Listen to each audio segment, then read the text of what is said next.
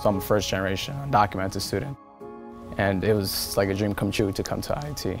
So one of the things I, I became involved in was an organization that uh, helped push for a scholarship, which is called the UMI Scholarship.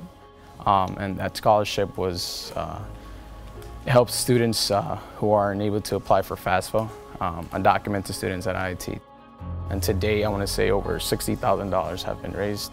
We have to uh, give other young folks a vision for what their future might be, right? And I think it enables people to keep dreaming. Just giving them access to a scholarship, regardless of where you come from and regardless of how tough it might be, there is great opportunities for you in the future.